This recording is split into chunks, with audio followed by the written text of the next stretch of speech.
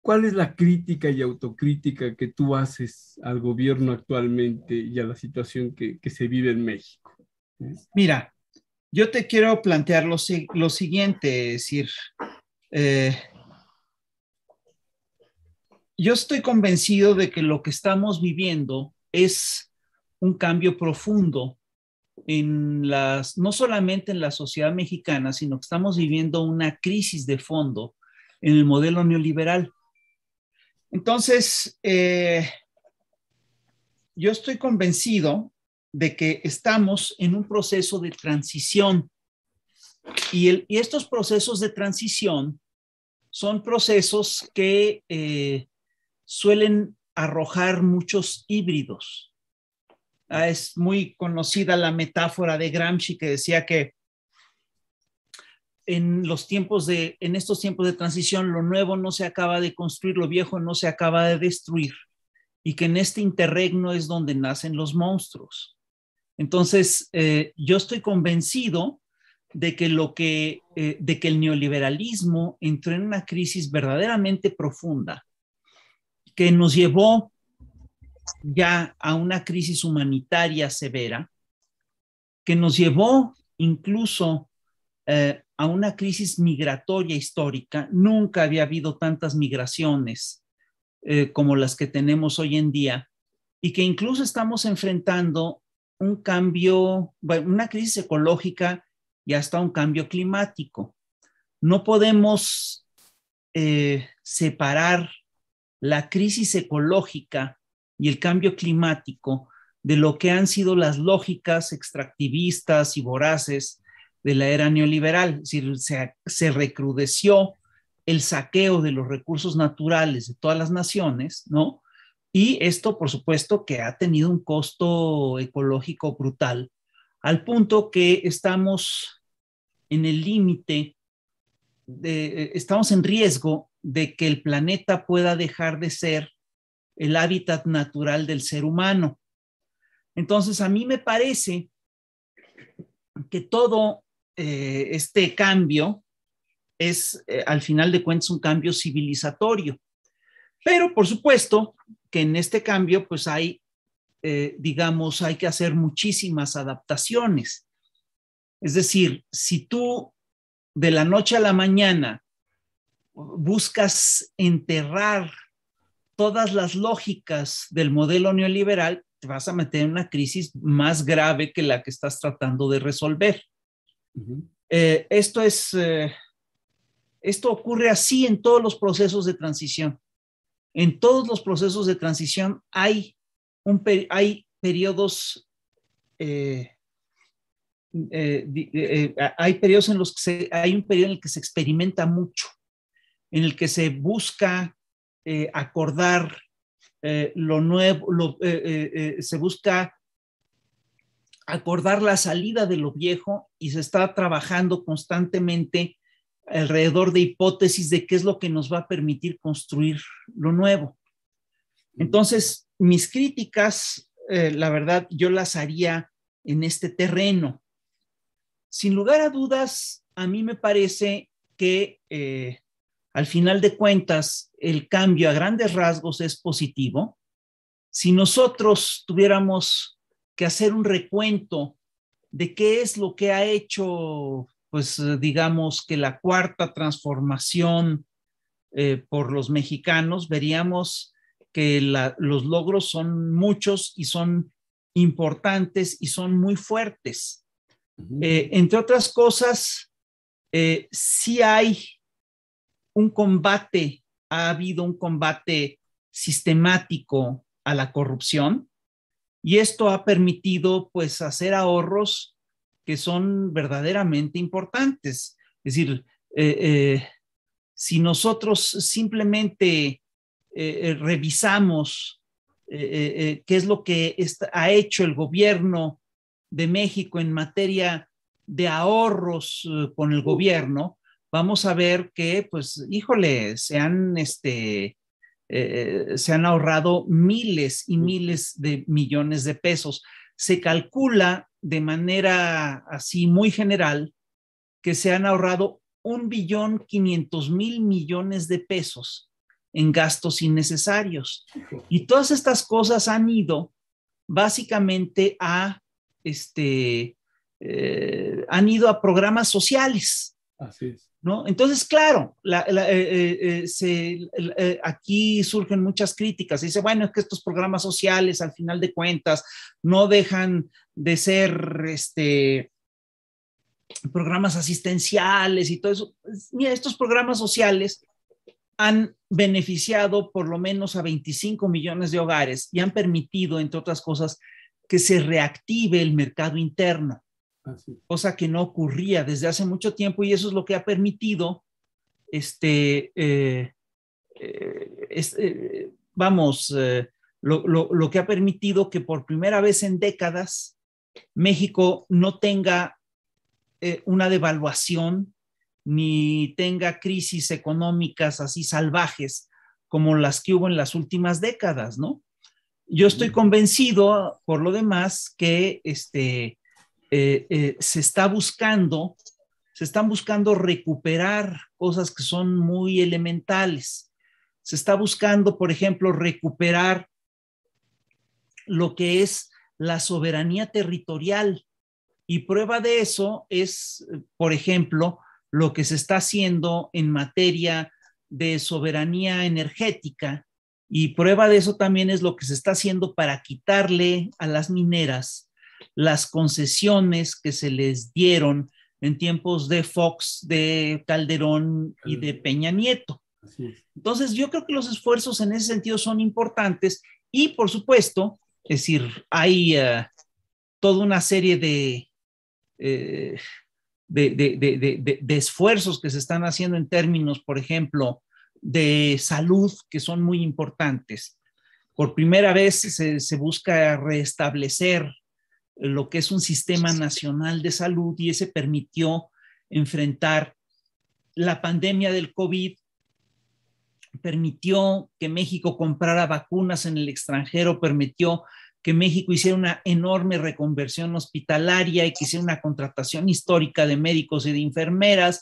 Y, este, y esto es lo que ha permitido que hoy en día México sea uno de los países más vacunados de América Latina, ¿no? Entonces, mira, por supuesto que hay muchas críticas que se pueden hacer. Es decir, a mí no me gusta de repente cómo se han tocado algunos temas, sobre todo que tienen que ver con la comunidad eh, eh, eh, cultural, artística, etcétera. Y sin embargo, el balance me parece muy positivo. Yo creo que en ese sentido es tan importante ver que los procesos son dinámicos. Cuando se, se gesta un, un, cambio, ¿no? pues habitualmente uno lo, lo, tiende a ver en, en, en, este, en estática, ¿no? Pero cuando ya lo pones en marcha, pues se van dando todo este tipo de situaciones que obviamente eh, yo estoy muy de acuerdo con todo lo que, dices. Cualquiera que haga muchas cosas en el mundo, atendiendo a cosas positivas, pues siempre es criticado porque hace, ¿no? Y el que no hace, pues porque no hace, pero... claro. Además, hay que, fíjate, entre las cosas que se están haciendo y que sí hay que destacar, es que se está haciendo un proyecto de reforestación que es verdaderamente muy importante, ¿no? Es decir, eh, eh, se está, eh, es posiblemente el proyecto de reforestación más importante del planeta el día de decir, por supuesto que hay, hay muchas cosas que criticar, pero yo quiero decirte que de eso se encarga siempre la prensa de la oposición. Esa siempre manda materiales y te dice, mira, y esto no me gustó y tal y tal y tal. Lo que es increíble es lo poco que se ha difundido eh, que, lo poco que se han difundido las buenas acciones de este gobierno, incluso en nuestro país, ¿no?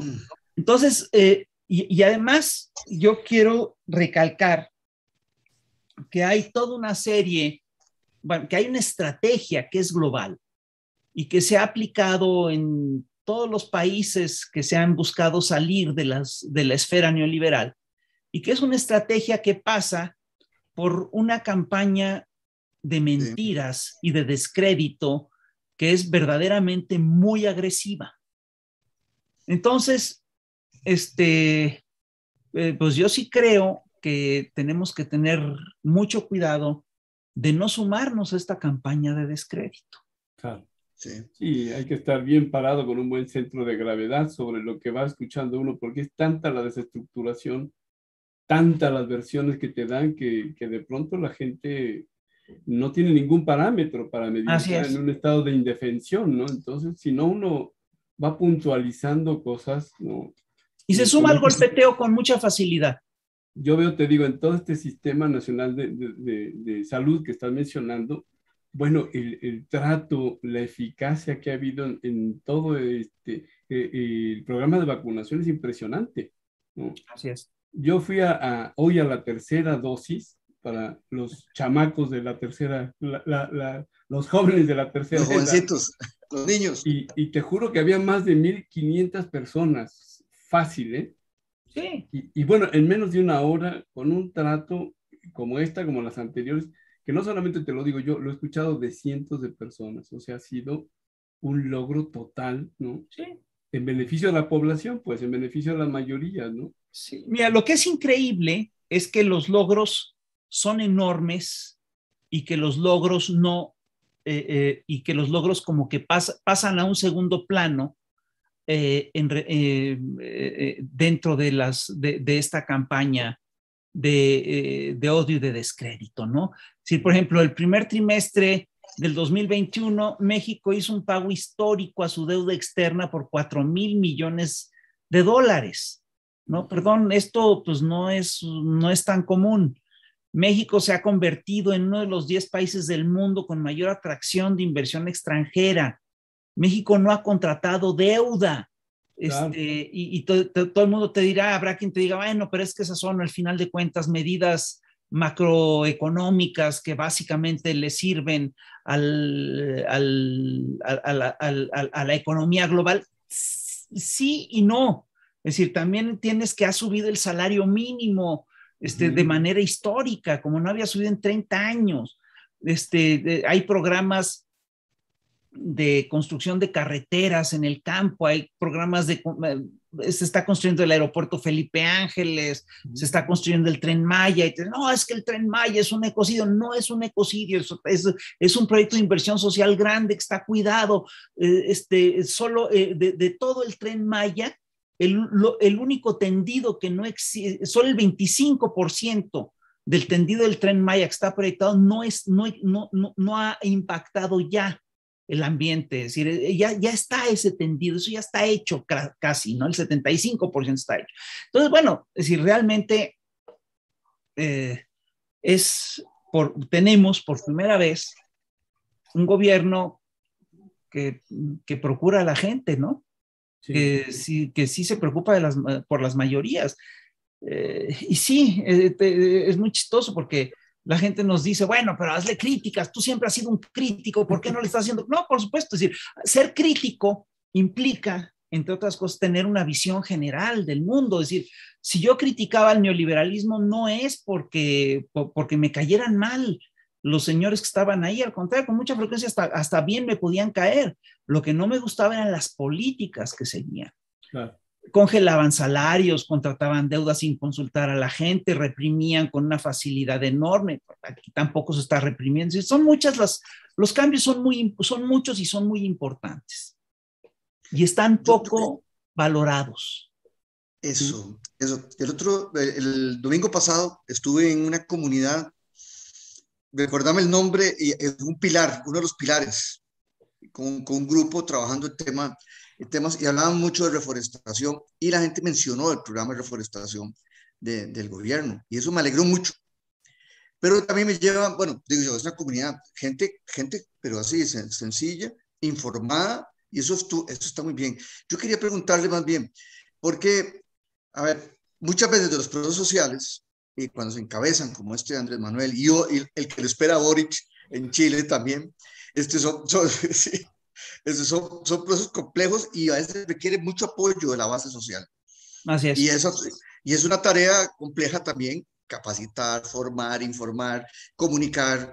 Eh, eso, ¿Eso cómo lo preparan ustedes? Porque eso digamos que yo estoy que digamos, no soy mexicano, pero me cae muy bien eh, eh, Andrés Manuel y todo, toda, su, toda la propuesta. Nosotros la seguimos con las dificultades del caso. Pero ¿cómo se preparan para digamos, ahora que mencionaba Gramsci, también el tema de, implicar a la población en los, en, los procesos sociales y transformadores tan grandes como que ustedes han iniciado. Eso es un poquito.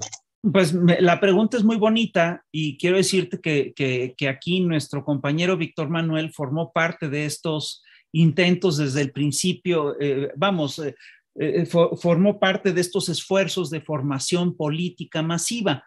Mira, se puede decir a grandes rasgos que las élites suelen organizarse alrededor de negocios, las élites, sobre todo las élites neoliberales, suelen organizarse alrededor de negocios, haciendo negocios, así es como se organizan ellos.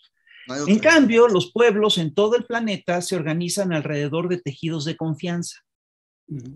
Y entonces, lo que buscamos hacer y lo hicimos de veras con muchas ganas. Es decir, Víctor Manuel es testigo de esto, él estuvo en esto y, con él estábamos cientos, si no es que miles de gente trabajando en eso.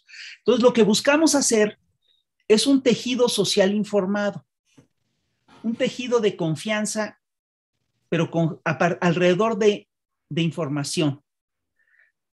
Alrededor, y esto por supuesto que te implica elevar el nivel de conciencia pues, de miles y miles de gentes, ¿no? Yo estoy convencido de que las grandes transformaciones de los últimos 300 años se han dado cuando se logra establecer un tejido de confianza, un tejido social eh, de gente que se tiene confianza y que está informada. No hubiera sido concebible la Revolución Francesa sin la existencia de los círculos de estudio masónicos. No quiere decirte que todos los masónicos fueran revolucionarios, eso no es cierto. claro. Eso no es así, pero es un hecho que era el único espacio que existía para la reflexión y para la divulgación de las ideas. Y lo usaron. Entonces, si tú haces un recuento de quiénes son los que hicieron el ciclo de las revoluciones atlánticas, te vas a dar cuenta que eh, Thomas Paine, Jefferson, George Washington, todos eran masones. Te vas a dar cuenta que Voltaire, Diderot, Rousseau, Marat, Danton, Robespierre, todos eran masones. Te vas a dar cuenta que Hidalgo, este, que Morelos, Que, Bolívar, todos ellos eran masones. La segunda revolución. En Centroamérica. ¿Eh? Aquí en Centroamérica también tenemos el aporte de masones. Bolívar era masón. Eh, eh, San Martín era masón. Todos eran masones. Y lo mismo ocurre también con el, con el ciclo de la revolución, con el ciclo eh, de lo que se, en Europa se llamó la primavera de los pueblos y que en América Latina corresponde al ciclo de las revoluciones liberales. En ese ciclo todos eran masones también y todos estudiaban. Luego, el ciclo de las revoluciones sociales también es posible porque se hacen clubs de lectura socialistas. Es decir, en México, eh, eh, eh, la revolución mexicana no la inicia Madero, la revolución mexicana la inician los hermanos Flores Magón con los círculos liberales que echan a andar Ponciano Arriaga a principios del siglo XX. Y, este, ¿Y qué son esos círculos? Pues básicamente son círculos de gente que buscan informar a gente, ¿no? Y que, y, que hacen tejidos de confianza. Entonces, si tú revisas quiénes son los que echan a andar la Revolución Mexicana, vas a ver que es gente que viene de esos círculos. Y es gente que está preparada. Y, entonces, la opción que estamos, es decir, nosotros en, eh, hablamos en México del tema de la revolución de las conciencias pues Víctor Manuel te puede contar cómo echamos a andar aquí el, ciclo de la, eh, eh, es decir, la revolución de las conciencias. Eran círculos de estudio chiquititos, ¿eh? Sí. Empezamos con, pero lo que sí es que se multiplicaron y eran círculos de estudios en los que la gente se informaba y tenía el encargo simplemente de difundir la información. ¿No? Y entonces así es como se organizó una muy buena parte de la sociedad mexicana. Y así es, y si tú te fijas, por ejemplo, en Bolivia, en Bolivia tienes un caso increíble porque les dieron un golpe de Estado y lo pudieron remontar. Claro. en buena medida lo pueden remontar porque tienen estos, eh, tienen estos núcleos de ciudadanía informada. Y, y, lo mismo ocurre con la cámpora en Argentina. ¿Qué es la cámpora en Argentina? Son al final de cuentas grupos de ciudadanía organizada con un tejido de confianza y en la medida, ahora, el problema con estos grupos es que lo que suele suceder es cuando, es que cuando estos grupos llegan al poder, cuando triunfa su causa, estos grupos tienden a desmovilizarse. Y entonces lo que tenemos que hacer es buscar mantener el tejido social organizado y movilizado. Ese es el gran reto. Y el proyecto, nuestra preocupación es mantener la movilización abajo. Ese es el gran reto, no solamente de la cuarta transformación, sino de todos los procesos de transformación de América Latina. Y hay una cosa que hay que decir de estos ciclos progresistas o de estos ciclos revolucionarios.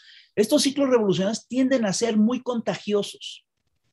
Si tú revisas lo que ocurrió en América Latina, este, en, en este último ciclo, pues es muy claro. Es decir, eh, en, en, en, Venezuela, eh, Hugo Chávez eh, rompe con la, es decir, gana la presidencia y rompe con las lógicas neoliberales, y en los siguientes años surgen gobiernos, no te quiero decir que sean gobiernos revolucionarios, son gobiernos no neoliberales y son gobiernos de salvación popular en Brasil, en Argentina, en Uruguay, en Ecuador, en Bolivia. Es decir, son, muy contagiosos estos procesos.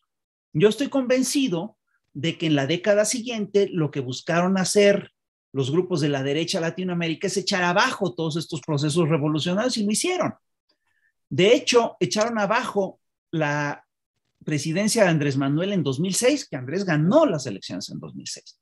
Entonces, echan abajo todos estos procesos y el triunfo de López Obrador en el 2018, un triunfo que ya no pudieron contener, reactiva estos procesos en América Latina. Y ve el mapa latinoamericano hoy en día. Es decir, ¿quién es decir, hubo efectivamente, se, implantaron gobiernos de derecha, incluso fascistas, en varias, en varias naciones latinoamericanas, ¿no? Es el caso de, de, Brasil con Bolsonaro, en fin, ¿no?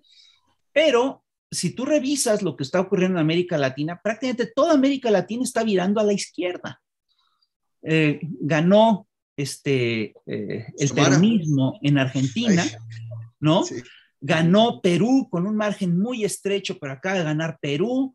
Ganó Boric en Chile. Este, va a haber elecciones este año en Brasil y en Colombia. Y en Brasil existen fortísimas posibilidades de que gane Lula.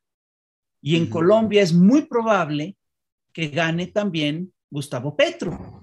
Entonces, bueno, es un proceso de crecimiento de la izquierda latinoamericana que tiene muy desesperado a, este, a Mario Vargas Llosa, que ya advierte este, que, estamos a punto de, él dice, estamos a punto de perder América Latina. Bueno, es decir, lo que hay que ver es lo siguiente, es decir, el modelo neoliberal está en una crisis profunda y fue un modelo hegemónico durante décadas.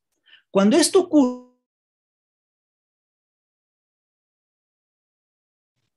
Es decir, el, bloque central hegemónico es el que entra en crisis, entonces lo que queda vivo son los extremos. Y ahí es donde surgen, por un lado, los proyectos fascistas o muy o ultraderechistas, como el de Trump en Estados Unidos, como el de Bolsonaro en Brasil, y surgen los proyectos izquierdistas. Y no nos engañemos. En Estados Unidos vimos hace unos años cómo ante la crisis del neoliberalismo, Trump agarra una enorme fuerza, pero también agarra una enorme fuerza Bernie Sanders. Y no nos podemos engañar. En Estados Unidos, el Partido Demócrata gana en gran medida por esta oleada progresista que ellos no vieron venir. Y por primera vez en Estados Unidos tú te encuentras con que hay eh, un sector izquierdista que tiene un peso importante en la administración de Biden, ¿no? Y, este, y, bueno, pues están haciendo su tarea. El mundo, es decir, el mundo está ante la alternativa de virar hacia una derecha fascista y ultraneoliberal o de virar a una izquierda que es bastante más humanista y que es bastante más respetuosa. Yo sí prefiero mil veces que gire hacia una izquierda humanista y respetuosa y que le ponga límites a esta ultraderecha fascista y neoliberal, porque la ultraderecha fascista y neoliberal lo que anticipa es lo que yo te decía hace un ratito, lo que anticipa es básicamente la extinción de la humanidad. Digo, vamos a una cosa, es decir, es mantener estas lógicas neoliberales que solo pueden ofrecer trabajo esclavo, sobreexplotación, eh, ecocidio, saqueo de los recursos naturales y capitalismo criminal. Entonces digo, ante estas alternativas, pues por supuesto que esta opción de la izquierda es, es un viento refrescante dentro de todo este proceso, ¿no? Realmente, sí.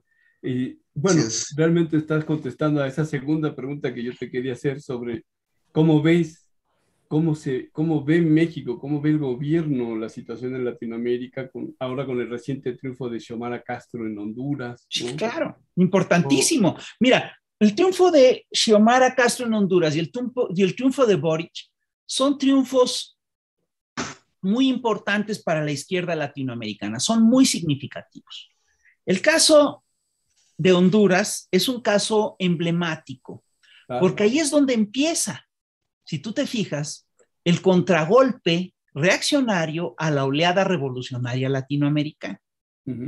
Esto quiere decir que no lo pudieron parar. Es decir, no se nos, es decir, perdón, esto, esto es una reivindicación muy importante de Rafael Zelaya. El triunfo de Xiomara Castro reivindica el gobierno de Rafael Zelaya.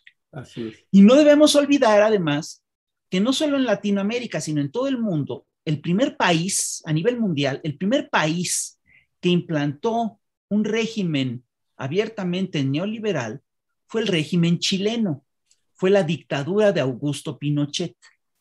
Y Chile era el gran bastión de la derecha neoliberal en América Latina. Que ahí haya ganado la izquierda con un margen del 55%, es decir, con, un 55% de los votos, es muy significativo. Es una derrota no solamente política, sino que implica también una derrota eh, epocal de, eh, de esta derecha chilena que es verdaderamente monstruosa. Terrible. Monstruosa se queda corto por el nombre. Bueno, pero tratemos de no usar calificativos. De una derecha que al final de cuentas es muy radical y que, y que es muy, muy violenta. Muy violenta. Pero ¿qué pasa con los pueblos, Rafa? Porque eh, acá ha sido impresionante en el año 2000 que haya ganado Fox, o, en Chile que el, el 52% no fue en la primera vuelta, no, no, no, este, no votaron. No sé si el, 40, el 48 o el 52%, ¿no? Y en esta segunda vuelta hubo todo un revuelo y una campaña impresionante donde se preguntaba, bueno, ¿dónde está toda esa gente del 2018, ¿no? Con todo ese con todo esa, ese fenómeno de octubre, ¿no? Que, que nos levantó fuertemente la, la, la reacción este, a lo social, ¿no? Y que luego se apagó, o lo apagaron, pues, ¿no? Por la pandemia, ¿no?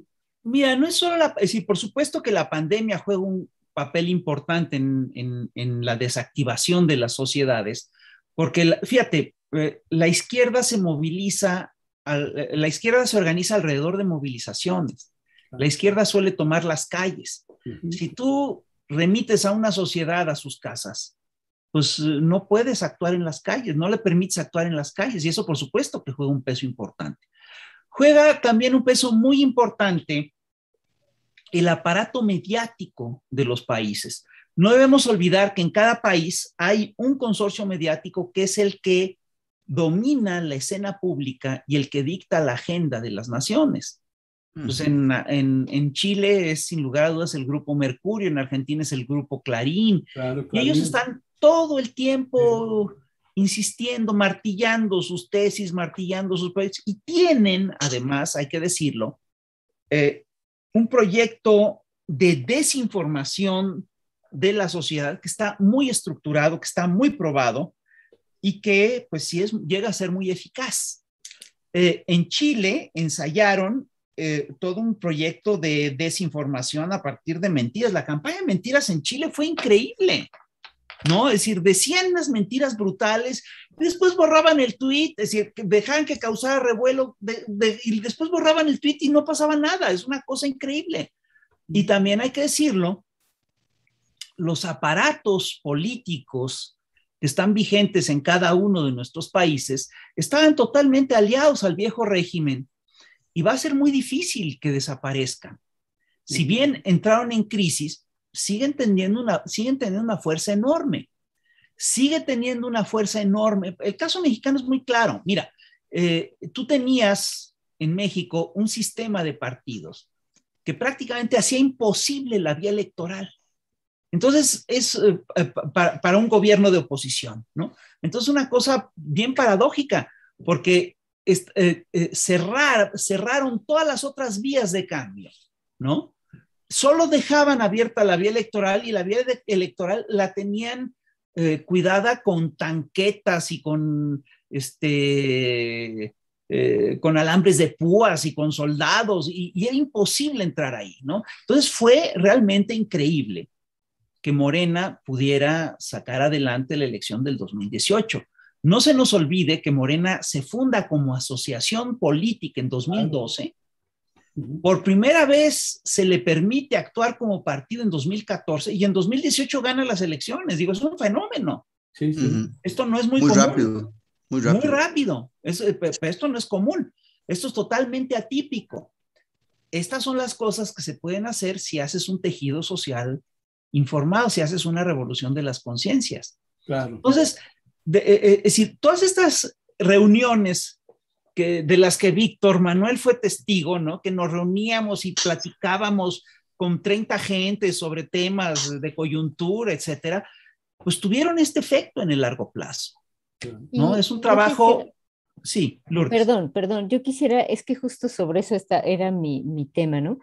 Yo recuerdo mucho esos círculos y eran reuniones por todos lados y efectivamente eran grupos pequeños, pero eran un montón muy, muy, muy interesante ese fenómeno y que se fue multiplicando. Pero ¿qué ha pasado ahora? Porque ahora, eh, o sea, eso es como por ahí va mi pregunta, ¿no? O sea, ¿cuál sería, o sea, cómo se está pensando en fortalecer, por ejemplo, desde Morena esos procesos?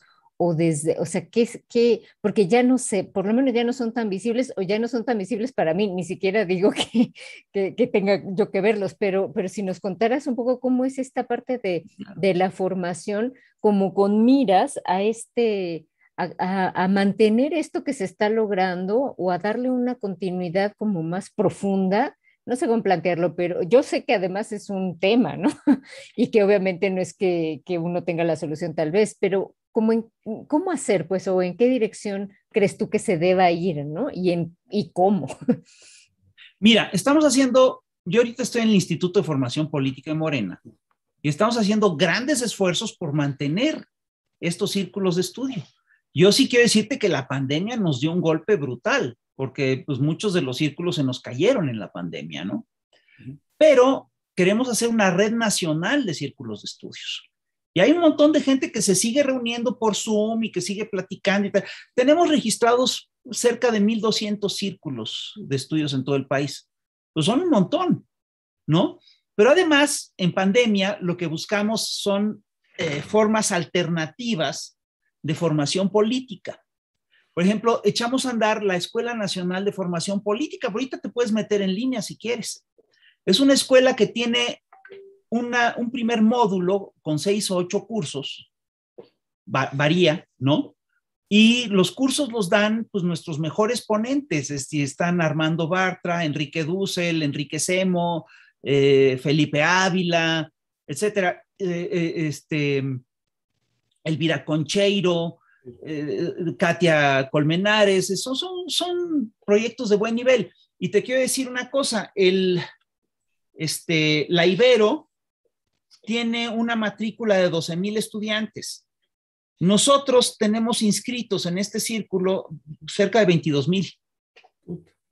Entonces, bueno, pues estamos, buscando las alternativas. Por supuesto que la pandemia te desmoviliza, pero nosotros estamos tratando de que no te desmovilice. Y queremos echar a andar eh, toda una serie de eh, todos estos círculos eh, tras la, este, pues en, el próximo año, al final, es decir, cuando podamos salir de la pandemia, vamos a, echarle todas las ganas a eso. Y estamos haciendo también un trabajo serio e intenso de formación de legisladores y de eh, eh, autoridades municipales. El curso, de hecho, vamos, en estos meses pasados, le dimos un primer curso a más de 2.000 autoridades municipales. ¿No? Es decir, parece poca cosa, pero es un esfuerzo muy grande, ¿no? Es decir, hacer que todos fueran y que todos le entraran y que, y, bueno, empezamos con cursos pequeños, pero ya acordamos que sean cursos de formación permanente. Entonces, y te voy a decir por qué nos centramos en el tema de las autoridades y bueno, también tenemos una escuela de formación de buen gobierno. Es decir, ¿por qué, por qué ahorita nos estamos enfocando en estos actores? Por una razón muy sencilla. Eh, en los procesos de transición, uno de los riesgos más grandes eh, eh, que, se tienen, que tienen los gobiernos que suben, ¿no? Es el de hacer un mal gobierno. Esa es la forma más fácil de perder la credibilidad de la ciudadanía y de perder el gobierno. Entonces, lo que hicimos es, vamos a darle formación a todos, ¿no? Aunque sea poquita, pero darles, darles, es, es muy distinto que, que llegue un presidente municipal con un curso de cuatro semanas a que llegue sin nada, ¿no? Es decir, en un curso de cuatro semanas eh, adquiere información básica y adquiere principios básicos. Entonces, estamos haciendo todo esto. Y por supuesto que queremos, eh, eh, queremos fortalecer los círculos de estudios en las regiones en las que Morena acaba de ganar la elección. En Sinaloa, en, eh, estamos en eso. Y hay estados en los que hay un montón de círculos de estudios y hay estados en los que hay poquitos, o hay estados en los que hay zonas en las que nos cayeron muchos círculos de estudios. Pero bueno, es decir, es parte de lo que ocurre cuando ganas y cuando hay pandemia. Y aquí se nos juntaron las dos cosas. Yo tengo otra. Sí. En Costa Rica, eh, a lo digo por experiencia municipal, a, las autoridades se les da un curso, hay un instituto de fomento, pero, y se les eh, eh, capacita en la gestión de los, de, los, recursos, en cómo tomar acuerdos, etc. Pero hace, ahora antes de, ahora a finales de noviembre hubo un escándalo y hubo la detención de siete alcaldes por corrupción. Y eso hizo que los diputados salieran corriendo y prohibieran la reelección consecutiva de los alcaldes, como una gran medida en medio de la campaña electoral que tenemos ahora en, en el próximo febrero. O sea, no hay una vacuna con la corrupción. Y a mí me, yo quería preguntarte eso en el tema de la formación política y la formación de los círculos, porque yo sé que eh, crear un contexto puede ayudar, pero ay, eh, necesitamos una vacuna con dosis, tercera, tercera y cuarta dosis para, mira, para el tema de la corrupción. Uno de los problemas eh, eh, graves que se incubaron en nuestros países en la era neoliberal es que creció la corrupción de una manera incontrolada. Es decir, a ver, y, y, no, es, no es broma, yo creo que hasta estamos ante un fenómeno que habría que estudiar con mucha seriedad. Eh, yo recuerdo que en tiempos de José López Portillo se hablaba mucho de corrupción, etcétera, y se metió a la cárcel por un acto de corrupción a Jorge Díaz Serrano, que había sido el presidente del el, director general de Pemex. Resultó después que el acto de corrupción no había sido de él, sino de una hermana del presidente, y el caso de corrupción, es decir, el, eh, eh, este caso escandaloso, era por poco más de 10 millones de dólares, que es mucho dinero. Eran 10 millones de dólares. Pero en cuanto llegó la era neoliberal, empezamos a ver casos de corrupción que eran verdaderamente increíbles. Es decir, el caso de corrupción de Cabal Peniche con el banco que le privatizaron era de algo así como 2 mil millones de dólares. Entonces, a ver, perdón, la corrupción es corrupción, se trate de un peso, se trate de un millón, se trate de 10 millones. Pero cuando tú te encuentras con que la corrupción da un salto de 10 millones a 2 mil millones, ahí estás ante un fenómeno distinto. Por supuesto que hay que castigarlo todo, con el agravante de que Cabal Peniche al final de cuentas acabó libre, ¿no? Y a Díaz Serrano lo metieron a la cárcel, ¿no? Entonces estás hablando de un cambio brutal en términos eh, cualitativos y cuantitativos en la era neoliberal. Entonces, si tú revisas los casos de corrupción que se dieron en México en la era neoliberal, te vas a encontrar con cosas verdaderamente inverosímiles. Es decir, y ojo, no se trata de un proceso meramente mexicano. No se nos olvide que el Fobaproa tiene su correlato con el corralito de Argentina, con eh, los casos de Overbrecht. Con los casos de Odebrecht. Son casos increíbles de corrupción. son casos brutales de corrupción.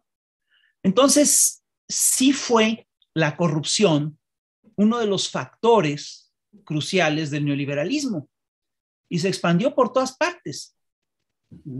Y combatir al neoliberalismo implica establecer un combate serio y sólido contra la corrupción en todos nuestros países. Entonces, sí, es decir, no hay una vacuna contra la corrupción, pero sí debe de haber una toma de conciencia, es decir, son muchas cosas las que se tienen que hacer para acabar con la corrupción. Entonces, una de las cosas que se tienen que hacer es, pues, se tiene que hacer un trabajo importante de cultura ética. Se tiene que tener un gobierno que no sea corrupto. Porque si el gobierno está corrompido, bueno, pues por ahí va a pasar todo, todos los actos de corrupción pasarán por ahí. Tenemos que buscar mecanismos de vigilancia, que la gente vigile, que la gente esté pendiente, etcétera, etcétera, etcétera. Es decir, son muchas las cosas que tenemos que hacer, sin lugar a dudas. Porque, es decir, eh, eh, hay, por supuesto, que temas que es más o menos fácil resolver y que se pueden resolver con cierta velocidad, ¿no? Por ejemplo, aquí en México había un problema de que bueno, no había mucho internet en las calles. Bueno, con una inversión mínima resulta que México es una de las ciudades con más interconectividad del planeta y es una inversión pequeña, ¿no? Eso se puede hacer con facilidad, pero acabar con la corrupción, acabar con, eh, digamos, eh, eh, la violencia en un país es muy complicado. Implica cirugía mayor e implica además atender un problema de años. Yo todavía me encuentro con gente que me dice, ¿cómo? Tú estás en formación política, pero ¿dónde están ya los dirigentes que tenemos que haber formado? Oye, espérate, yo tengo tres años en esto. Formar una gente toma doce o veintitantos. Es decir, esto es un proceso lento, ¿no? Es decir, hay procesos que son lentos y hay procesos que son rápidos. Estos son, estos son procesos lentos. Pero yo estoy convencido de que siempre será mejor echarlos a, trabajar lo antes posible y que también estoy convencido de que hay ciertos resultados que se pueden obtener en el corto plazo. Entonces son cosas que hay todo eso hay que trabajarlo. Por ejemplo, el hecho de que el gobierno esté constantemente combatiendo, el, el gobierno de López Obrador esté poniendo el dedo en actos de corrupción, en contratos que son leoninos, etcétera, por supuesto que ayuda a combatir la corrupción. El caso de la corrupción en el sector eléctrico es, es verdaderamente increíble. Es decir, tenemos, firmaron en la era neoliberal estos señores unos contratos en los cuales, por ejemplo, se establece, te voy a poner un ejemplo de, el ejemplo de uno de los contratos. Uno de los contratos con unas empresas gaseras. Había seis contratos de gasoductos que establecían que eh, eh, Comisión Federal de Electricidad debería estar obligada a pagar el gas de esos gasoductos, que viniera de esos gasoductos, se le entregara o no el gas a Comisión Federal de Electricidad. Entonces tú dices, ¿quién firmó eso? Es decir, entonces resulta que por ese concepto, Comisión Federal de Electricidad está gastando miles de millones de, de pesos al año, ¿no? Y en el mediano plazo va a tener que pagar miles de millones de dólares. Si no se hace la reforma eléctrica, pues así va a ser. ¿no? Entonces es una cosa increíble. Es decir, son, son contratos que son increíbles. Ahora, ¿cómo te explicas que hayan firmado esos contratos? porque los, los señores que firmaron esos contratos después se fueron a trabajar para las empresas eh, que fueron beneficiadas con esos contratos. Son las famosas puertas giratorias, que son un escándalo en España y que también son un escándalo en México. ¿no? Pues son un escándalo en todo el mundo. Pero son parte de las lógicas, de estas lógicas neoliberales, en los cuales se había borrado totalmente la distinción entre el sector público y el sector privado, ¿no?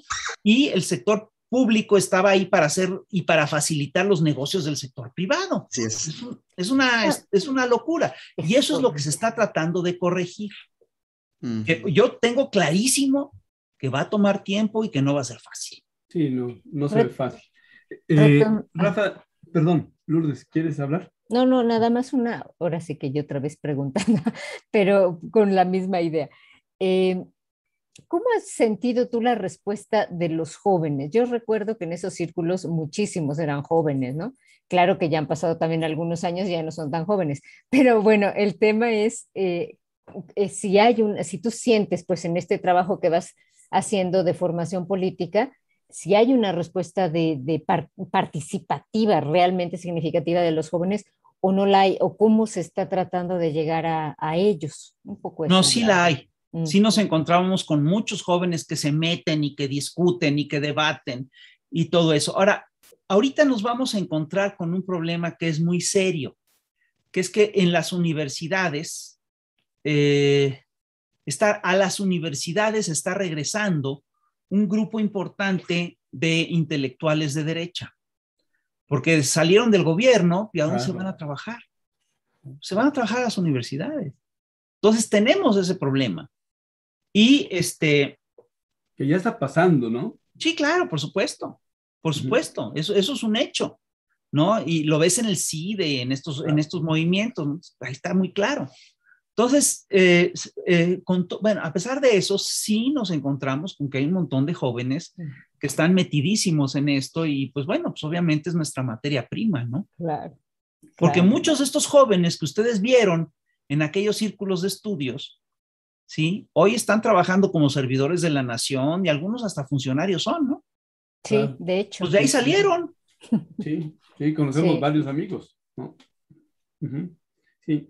Rafa, yo tengo una última pregunta en lo que a mí respecta y es, ¿y cómo ves el papel de, primero de México hacia Latinoamérica? Eh, ¿podré, ¿Se podrá recuperar el papel que tuvo en su momento en la diplomacia, en, ser un referente. Eh, ahora con, con, estas medidas que, que, AMLO, que López Obrador está tomando, por ejemplo, como esta, esta campaña de solidaridad con el gobierno peruano, ¿no? De, de Pedro Castro, ¿no? Que, que me parece que es... Castillo, este, ¿no? Pedro Castillo. perdón, de, de, Castillo, ¿no? De Pedro Castillo, ¿no? Eh, que, que, obviamente se ve, se ve pues otra vez esa, ese, ese pilar que, que ha sido nuestro país hacia Latinoamérica, ¿no? Y luego hacia adentro, ¿no? Perdón, y luego hacia adentro, ¿no? ¿Cómo ves México, ¿no? Con ese avance del narcotráfico en los municipios. Nosotros estamos haciendo trabajo municipal y que luego ya en otro momento te lo, te lo haré saber y, e invitarte, ¿no? En, municipios donde ha ganado, por ejemplo, Morena, ¿no? Eh, y que ves el avance del narcotráfico, que dices, puta, este, ¿para dónde te haces, no? Y, y vemos a los mismos gobernantes, ¿no? El mismo cabildo, ¿no? Dentro de un municipio, pues maniatado, maniatado por los narcos, ¿no? Mm. Este, ¿Cómo ves ese futuro para adentro y para afuera en, el país? Con el tema de las mineras también, ¿no? Acá en este país. Mira, el tema del narcotráfico es un tema muy delicado, porque el, el problema del narcotráfico es que sigue siendo el gran negocio de nuestros tiempos. Es decir, nada es tan rentable como invertir en cocaína. Ni siquiera invertir en las acciones de punta de la bolsa de, valores de Nueva York te da tantos dividendos como los que da invertir en cocaína. Entonces, yo sí creo que tenemos que hacer, tiene que haber un combate integral al narcotráfico. Y esto es uno, y esta es una de las herencias siniestras de la era neoliberal. es decir, tenemos que recordar que México tenía una relación con el narcotráfico hasta la década de los ochentas y a partir de la llegada del neoliberalismo esta relación cambió. El narcotráfico se privatizó y se convirtió en industria y creció de manera exponencial. Entonces, terminar con esto va a ser muy complicado y lo advertimos cuando Felipe Calderón eh, echó a andar esto. Dijimos, es que van a meter a México en una dinámica, en un círculo vicioso del cual va a ser muy difícil salir y va a ser un círculo de violencia. Todo lo que dijimos que iba a ocurrir, ocurrió, absolutamente todo. Y también sabemos que es difícil detener estos procesos. Entonces, se necesita, por supuesto, un combate integral al narcotráfico. Yo creo que se están tomando medidas para esto. Es decir, por primera vez, eh, eh, te voy a decir una cosa horrible, pero el otro día me encontré con una noticia que me llamó mucho la atención. Resulta que, por ejemplo, en Guerrero, para el, para el crimen organizado de repente resulta más rentable sembrar agave que sembrar amapola. Es decir, en algunas regiones. Entonces, bueno, es decir, eso, aunque parezca un... Eh, eh, eh, eso quiere decir que algo está cambiando. Eso quiere decir que sí existen rutas para acabar con el narcotráfico. Ahora, va a ser muy difícil acabar con el narco mientras el narco sea, se mantenga como un negocio ilícito, como un negocio criminal, y mientras Estados Unidos siga siendo al mismo tiempo el policía del mundo y el principal consumidor. Ahí tenemos un problema de fondo, ¿no? Y eso, y, ah, y el principal proveedor de armas, ¿no? De, de, México, pues ahí hay un problema que es muy grave, ¿no? Entonces, sí se tiene que hacer ese combate al narcotráfico de manera integral y hay que entender que esto es un trabajo, es una cosa que va a costar años de esfuerzo y que, y que el proceso pues va a ser doloroso y complicado. Espero que no sea lento, pero sí va a ser doloroso y complicado. Y creo yo, este, eh, creo yo que el narcotráfico sigue siendo una de las grandes herramientas del imperio norteamericano para meterse y para implantar sus lógicas eh, y, y, para impulsar los aspectos más sucios de su política económica en toda América Latina. Eso es lo que hacen con el narcotráfico, ¿no? Y bueno, yo sí creo que México está, ahora bien, de ahí a concluir, como dice la derecha, que López Obrador ha pactado con el narco porque saludó a la mamá del Chapo Guzmán, hay una abismo. ¿no? Eso, eso es otra historia. Eso es, eso es una narrativa que le sirve muy bien a ellos, pero que no tiene nada que ver con la realidad tal como la vivimos nosotros, ¿no? Es decir, son cosas muy distintas, ¿no? Y, ahora, yo sí creo que México está planteando, es decir, el, gobierno de López Obrador está replanteando la relación, su relación con América Latina y está replanteando también la relación de México y América Latina con los Estados Unidos. Hay que revisar, y, aquí yo les propongo eh, que revisen un texto que fue muy importante, que es el discurso de Bolívar, y que, y que revisen también eh, eh, la intervención que hizo en, esta, en, este Congreso de los países de América Latina, ¿no? De los estados de América Latina. Es decir, hay, un, hay un replanteamiento muy interesante de la relación que, que podemos tener los países del continente entre nosotros. Y este, bueno, pues sí se necesita, eso por supuesto que se necesita revisar, ¿no? Y yo sí creo Ah, yo sí creo que lo que tenemos que cuidar mucho en estos tiempos es eh, que tenemos que cerrarle el paso a lo que queda del neoliberalismo.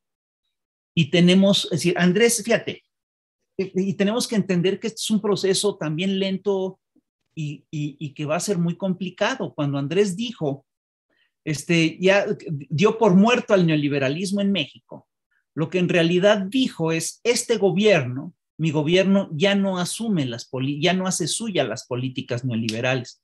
Pero el neoliberalismo, pues está vivo en todo el planeta, ¿no? El neoliberalismo sigue siendo una fuerza muy importante a nivel global. Entonces, esto es lo que tenemos que enfrentar. ¿Qué implica eh, enfrentar, acabar, erradicar el neoliberalismo? Implica hacer, en primer lugar, que los estados, que cada estado vuelva a funcionar para lo que fue creado, El Estado mexicano sirva para defender los intereses de los mexicanos, no, de las no los de las multinacionales extranjeras. Que el Estado costarricense sirva para defender los intereses de los costarricenses. Que los eh, estados, eh, que, eh, en fin, que, que el Estado sea, entre otras cosas, la primera línea de defensa de los pueblos. Esa es la primera tarea que debemos conquistar. Y claro, pues no está fácil echar a andar esto porque el peso que tienen los neoliberales y las armas que tienen los neoliberales siguen siendo enormes. Hay un viejo refrán mexicano que reza que tiene más el rico cuando empobrece que el pobre cuando enriquece. Hoy en día el neoliberalismo tiene mucha más fuerza, no siendo gobierno en México, que la que tenía en 1980 antes de instalarse como gobierno. Entonces, el neoliberalismo sigue siendo poderosísimo y va a tomar tiempo eh, eh, eh, echar abajo las lógicas y el sentido común que implantó en un sector muy importante de la población. Todavía nos encontramos, aún entre los candidatos de Morena, gente que dice, no, claro, lo importante es el individuo, no la sociedad. No, perdón. Tenemos que entender que la sociedad, que el individuo forma parte de la sociedad y que los intereses de la suma de los individuos no equivale al interés, al interés general de la sociedad. Entonces, todo eso lo tenemos que trabajar y va a tomar mucho tiempo. ¿Estamos preparados, Rafa, para una situación como la que ya se empieza a prever con, con, eh, López Obrador, que sal, saldrá del gobierno? Eh, ¿Hay gente que está preparada para asumir las riendas del país provenientes de Morena? Mira, yo creo que hay gente preparada, pero yo sí creo que todavía no estamos preparados. Es decir, perdón, a ver, te lo voy a decir de una manera muy cruda. No estamos preparados ni siquiera para hacer lo que estamos haciendo. Es decir, estamos sacando adelante, eh, eh, eh, vamos, pero el reto histórico es crucial. Es decir, si no hacemos esto, la humanidad se puede ir al drenaje o, bueno, se, va a la extinción en cualquier ratito. Entonces tenemos que irnos preparando a medida que vamos haciendo los cambios. Yo sí creo que tienen cuadros preparados para, hay cuadros preparados para reemplazar a Andrés, Andrés los ha mencionado, ¿no? Pero también creo que la sociedad se tiene que preparar en su conjunto para sacar adelante estas tareas. Tenemos, entre otras cosas, que prepararnos para ganar la elección del 2024. Tenemos que prepararnos para no tener a Andrés ahí al frente. Tenemos que prepararnos para todo eso. Una, una, una ventaja que tenemos en América Latina, digamos, con, con Andrés Manuel, es que nosotros lo vemos como un señor de la política, como un, como un latinoamericanista, y como decir, a, a nivel de Lula, y yo creo que de, de otros, de otros políticos de, de, este nivel. Y eso es una, es una, una gran ventaja, pero es importante formar más Andrés Manueles y más, y, efectivamente, más Lulas. Sí, claro. Posiblemente sea una generación la que viene, como la de Boric, de más gente muy joven que los emula y que, y que va más adelante incluso. Sí, mira, es curioso, pero en América, una de las críticas que se le hace a la, a, los, a la izquierda latinoamericana es que suele ser una izquierda caudillista. Y sí es cierto. La izquierda latinoamericana es una izquierda caudillista. Esto suele suceder, esto suele darse sobre todo en las sociedades en las cuales eh, la derecha demuele las instituciones democráticas. Si no hay sindicatos, si no hay partidos políticos de izquierda, si no hay eh, organizaciones, lugar a las organizaciones populares, la confianza se acaba depositando en proyectos de individuos, en proyectos individuales. Eso así suele ocurrir. Entonces, lo que tenemos que hacer, entre otras cosas, es instalar una izquierda, eh, instalar estas instituciones democráticas de la izquierda, hacer partidos de izquierda, hacer este, eh, escuelas de formación de la izquierda, hacer sindicatos de izquierda, organización, y que haya líderes populares de la izquierda. Ahora, sin lugar a dudas, mm, eh, sí, ahí de repente te encuentras con dirigentes políticos que hacen época, ¿no? Que dices, bueno, este resuelve, este resuelve un montón de Salvador Allende, tal, tal. eh, yo sí creo que López Obrador es un, es un animal político bien fuera de serie, ¿no? Es decir, a mí... Sí, sí, es cierto. Admirable. Tiene cosas que a mí me sorprenden muchísimo. ¿no? Y de repente hace cosas que, que, yo digo, bueno, yo no estoy de acuerdo, pero fíjate, a mí me ocurre una cosa muy curiosa, con, con estos dirigentes suele ocurrir, que son dirigentes que se la pasan dándole vueltas a los temas y a las preocupaciones y que entonces, este, pues tienen una visión muy avanzada sobre ciertas cosas. Hace unos años todavía, cuando yo no estaba de acuerdo con algo que decía López Obrador, yo decía, ya se equivocó Andrés, ahorita mi, mi, reflejo es, bueno, ¿qué es lo que yo no estoy viendo? ¿Qué está viendo él que yo no estoy viendo? Mm. ¿No? Cuando él dice una cosa que me suena así rara, yo digo, a ver. Y generalmente, lo que me ocurría antes es que yo me estaba en desacuerdo con él y a la larga me daba cuenta que él tenía razón.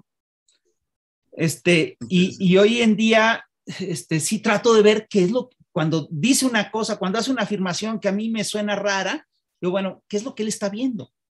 Lo que yo me pregunto es qué es lo que él está viendo y que yo no estoy viendo. Y, generalmente, este, digo, por supuesto hay cosas en las que sigo sin estar de acuerdo con él, pero generalmente me doy cuenta que eh, tiene mucha razón en lo que hace. Ahora bien, lo que tendríamos que hacer es formar a mucha gente este, que, esté, que tenga un alto nivel de formación política darle formación a muchísima gente, porque es lo único que nos va a poder permitir reemplazar a estos dirigentes. Pues son dirigentes históricos, ¿eh? no está fácil que se te vuelvan a dar, no, no nacen de un día para el otro. Entonces hay que trabajarlo. Son procesos que hay que trabajar y eso por supuesto que toma tiempo. ¿Alguna pregunta más, este, José Rafael Lourdes? No, no, yo, estoy súper agradecido con estas no, al contrario. Sí. Al contrario, es un gusto estar con ustedes.